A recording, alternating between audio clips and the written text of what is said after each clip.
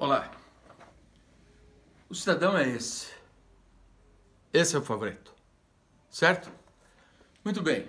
20 anos de petismo, funcionário histórico do PT, foi funcionário do Tarso Genro, aquele Tarso Genro, imagine, foi que destruiu Porto Alegre, foi militante e é militante em pectores do PT. A cúpula, eu estou aqui muito perto, né, da Justiça Federal, a cúpula do PT já viajou para cá, etc. Muito bem. Esse sujeito é responsável por instalar a insegurança jurídica em nosso país. Por quê? Porque ele é um plantonista do TRF4, plantonista.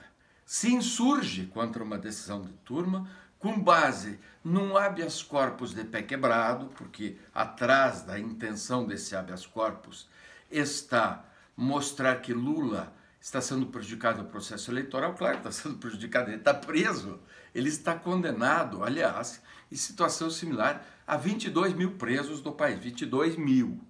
O desembargador federal só é, encontrou razão para soltar o senhor Lula.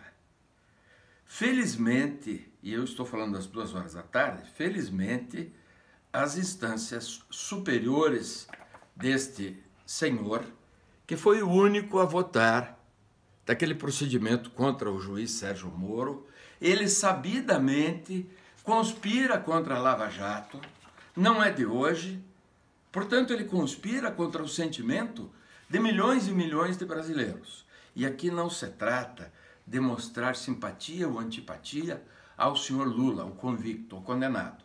Se trata, isto sim, de demonstrar o civismo necessário para que se mantenha o respeito à ordem jurídica, ao Estado democrático de direito, às decisões dos tribunais.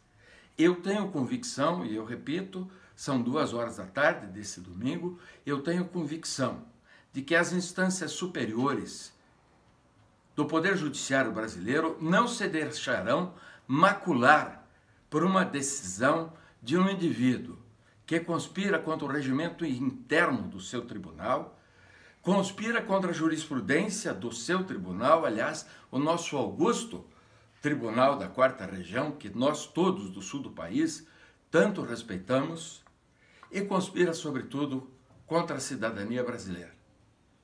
É necessário que mantenhamos vigilância, porque da vigilância depende a liberdade de cada um de nós e deste país.